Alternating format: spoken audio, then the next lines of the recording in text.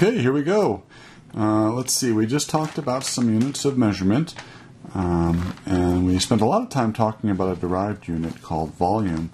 And uh, to find the volume of a rectangular shaped object, we learned that you multiply the length, width, and height together. Um, we talked about the concept of the uh, cubic decimeter, and that it's the same thing as a liter, and that there are uh, 1,000 milliliters in a liter, and since a milliliter is the same as a cubic centimeter, there are 1,000 cubic centimeters in a liter as well. Remember that a milliliter and a cubic centimeter represent the exact same volume. Okay, let's talk about some metric conversions. Uh, we will do some conversions involving just the metric system. this process that we're going to learn today is called dimensional analysis or factor label method. Um, it's the only way you're going to succeed in this class. This is the first time we'll use it.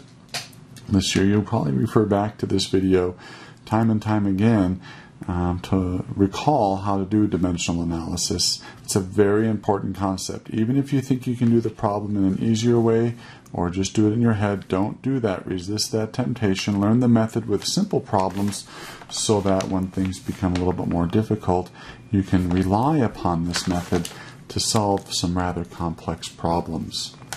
So let's start with converting 4.75 grams into milligrams. Now, I've given you a little help here on the side of our notes, and the same thing is in your manual. Uh, this is from, I believe, page 29 of your textbook, where we have um, some prefix meanings. You can see that in one gram there are a billion nanograms. Uh, 10 to the ninth is the same as a billion. In a gram there are a million, or 10 to the sixth, micrograms. In one gram, there are a thousand, or 10 to the third, milligrams. In a gram, there are 100 centigrams.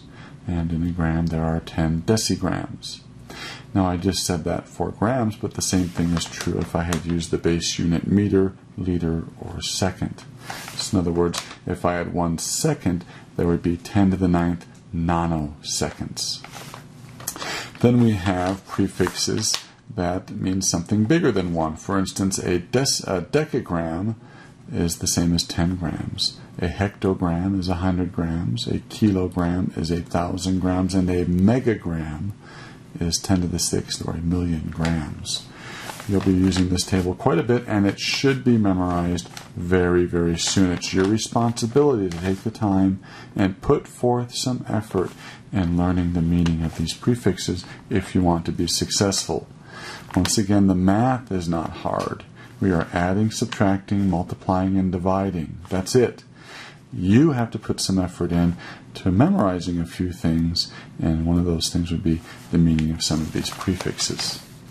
All right, well, to convert 4.75 grams to milligrams, we start out with what I give you 4.75 grams, we multiply by a conversion factor. Now, in that conversion factor, we're going to put the unit we want to get out of on the bottom and the unit we'd like to get into on top. Then we are going to put the number 1 by the bigger of the two units. So what's bigger, a gram or a milligram? Well, a gram is bigger. And then we're going to put its meaning on top. So we're going to look over here. In 1 gram, there are 10 to the third milligrams. So I'm going to put 10 to the third milligrams on top. Now you'll notice that the unit gram divides out. Right? When you divide something by itself, it cancels out. Then we have the unit milligram left over. Now we have the number 1000 or 10 to the third on top, which means we multiply it by what we're starting with here. So my answer would be 4.75 times 10 to the third which is 4,750, or if you'd like, 4.75 times 10 to the third milligrams. Okay? Our first conversion's done. Seems pretty simple, doesn't it? Why don't you try uh, the next one? Take a second and try to convert 89.43 liters into nanoliters. And you can use your conversion factors over here. Take a second and try it. If you need to pause the video, go ahead. All right, let's see how you did. We put the unit liter on the bottom. That's what we want to get out of. We want to get into nanoliters. Now, what's bigger, a liter or a nanoliter? Well, a liter's bigger, so we'll put the number 1 by it. So if I have 1 liter, I have 10 to the ninth nanoliters. So we put 10 to the ninth on top. The unit liter divides out. Now, if you really want to, you can use your calculators here. Let me show you how to use them again. Turn this on and clear it out. Since 10 to the ninth is on top, I'm going to multiply by it. So 89.43 times 10 to the ninth. I'm going to show you how to use a new button today. Uh, we'll hit 89.43. We're going to multiply that by 10 to the ninth.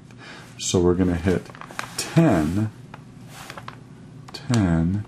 Now we're going to use this little rooftop symbol. It's called the caret key. Caret key 9. So your view screen should look like that. We'll hit enter and we end up with a number in scientific form 8.943 e to the 10. Well, that is 8.943 times 10 to the 10 nanoliters.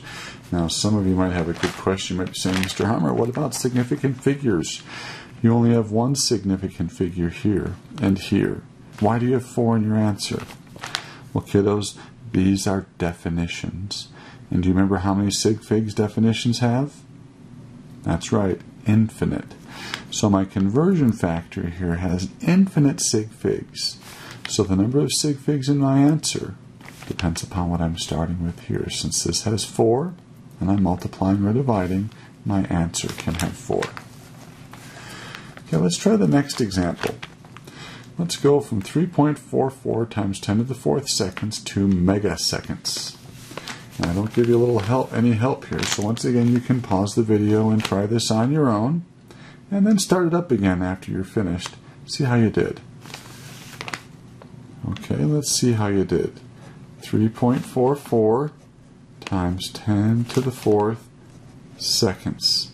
We're going to multiply by a conversion factor did you put seconds on the bottom? The unit you want to get out of goes on the bottom, and megaseconds on top.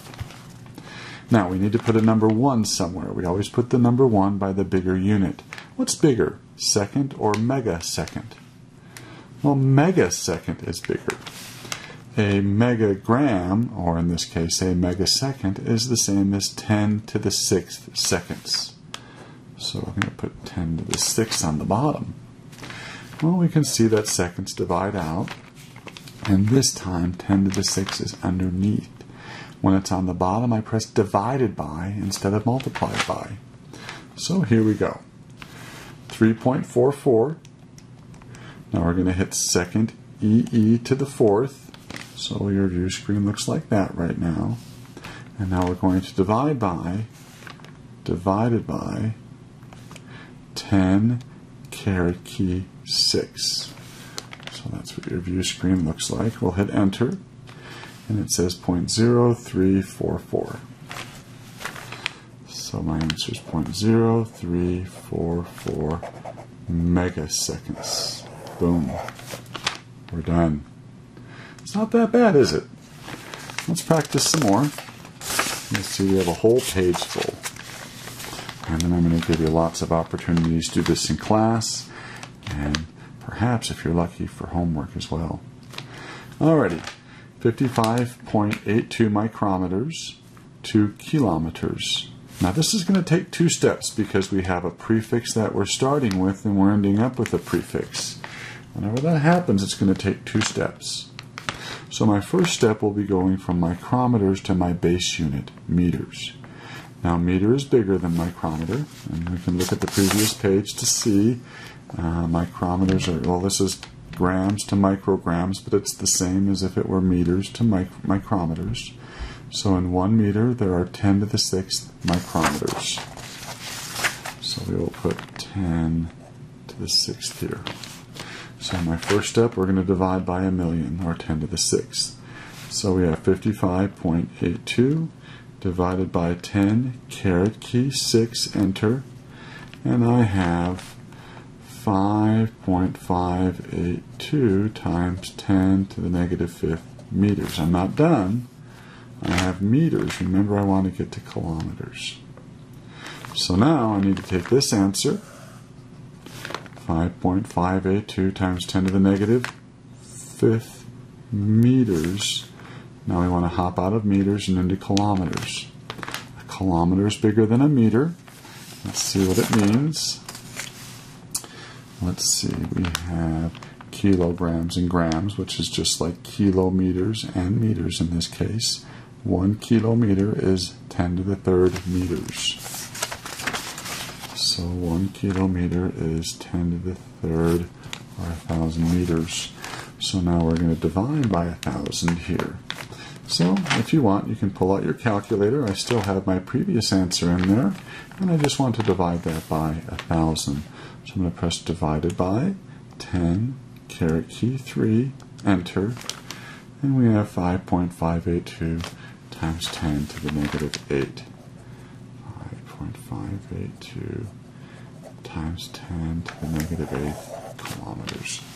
And that's my final answer. Now, we usually don't break it up into two separate and distinct steps here. We usually do it as one expression. So let me show you how to do that. And you'll get really good at this as the year goes on. Um, we're going to plug in our conversion factors. Remember, 1 meter was the same as 10 to the 6 micrometers. So micrometers divide out, and I don't calculate yet. Then I hop out of meters and get into kilometers. One kilometer is the same as a thousand or 10 to the third meters, and meters divide out. So you can see I'll first divide by 10 to the sixth and then 10 to the third.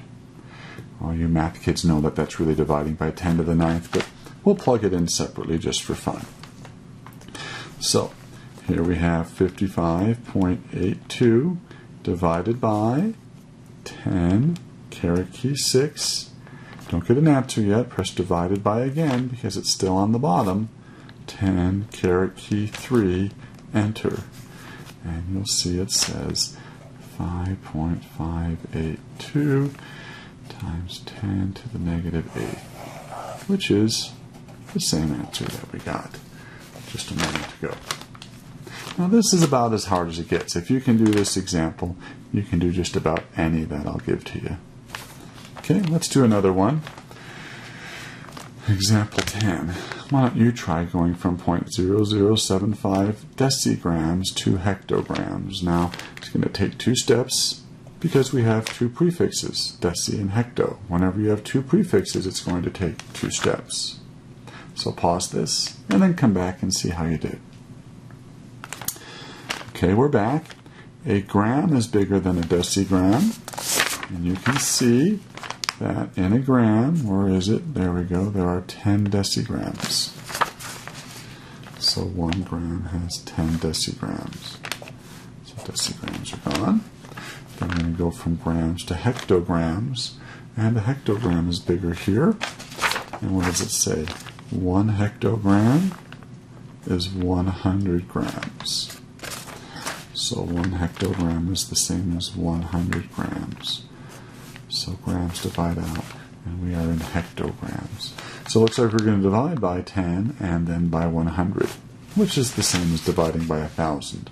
But let's just do it in our calculator anyway. 0.0075 divided by 10, divided again by 1,000, enter, we end up with 7.5 times 10 to the negative 7 hectograms. Okay? Once again, if the number's on the bottom, we divide by it. If it's on top, which we haven't had for a while, but if it does end up on top, we'll end up multiplying by it. Let's do one more, and we'll call it good for this session. We'll convert picoliters to attoliters. So pico to atto. So We'll put picoliters on the bottom. We'll put liters on top. It's going to take two steps. And we're going to go from liters to attoliters. Now, I don't give you all these conversion factors. Take a look. Up, one page. Let's find the right page. I don't see picoliters or attoliters here, so I have to give you a little bit more help. I do give you this right here. An attoliter is 10 to the negative 18th liters. So a liter's bigger. Now this is tricky. I put the number 1 by the unit that's bigger. Remember, an attoliter is really, really tiny, 10 to the negative 18th of a liter. That means I need 10 to the 18th to make up a liter. What about picoliters and liters? Well, a liter is bigger, and pico is 10 to the negative, uh, 12th. So that means there's 10 to the 12th picoliters in a liter. So what I'm going to do is I'm going to divide by 10 to the 12th and then multiply by 10 to the 18th, which most of you know is the same as multiplying by 10 to the 6th. Picoliters are gone, liters are gone, we'll end up with attoliters. So 8.774 divided by 10 caret key 12. It's on the bottom, I divide by it. And then times 10 caret key 18, enter. We end up with, well, that's not a very pretty number. 8774000, which is 8.774 times 10 to the 1, 2, 3, 4, 5, 6 attoliters. And there you have it. Okay? Thanks for coming. Bye bye.